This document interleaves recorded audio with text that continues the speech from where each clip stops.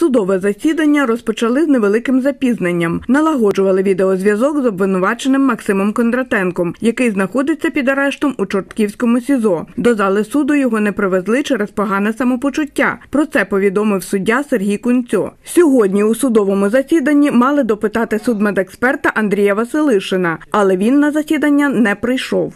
Експерт Василишин був повідомлений про необхідність явки, однак з об'єктивних причин було змінено склад оперативної слідчо-оперативної групи е, області, і він не може виконати свій пост у зв'язку з цим коригуванням. Знову ж таки, його повідомлено про наступну дату судового засідання. Е, Це, це узгоджено з керівництвом, направлено е, повторне повідомлення, і він обіцяв про явку на наступне судове засідання. За словами прокурора Леоніда Бучковського, окрім судмедексперта, у судовому засіданні мають допитати п'ятьох понятих та трьох свідків у кримінальному провадженні. Головуючий суддя Сергій Кунцьо зобов'язав прокурора забезпечити їх явку на наступне засідання.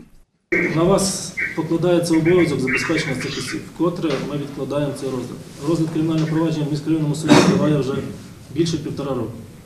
Наступне слухання справи призначили на 28 січня. Любов Гадомська, Василь Панчук. Новини на Суспільному. Тернопіль.